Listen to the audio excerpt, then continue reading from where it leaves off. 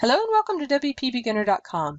Today I'll show you how to connect WordPress with a Meetup.com group. Meetup is an offline way to interact with other like-minded people, and if you have a Meetup group, you can add Meetup to your website like this. Just install and activate the Meetup Widgets plugin, then go to your Meetup account and enter the information for your website. Meetup.com will create an OAuth account for your website and show you your consumer key and secret. Once you have that, you want to go to your website and go to Settings, General, and enter the OAuth Meetup key, the Meetup secret, and the Meetup API key. Now you can add the group events to your site.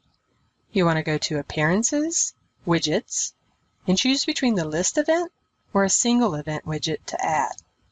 For the Meetup list widget, you'll add your group ID. The ID can be found in your URL slug like this. I'll go to my group page and grab it here and copy it to my widget. To add just a single event, I'll just go to the event page and grab the event ID like this. And now I can share all my meetups on my website.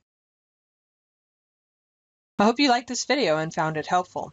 If you did, click on the like button below and leave us a comment. And if you want to receive more helpful videos, don't forget to subscribe to our channel and check out WPBeginner.com for more useful information on WordPress.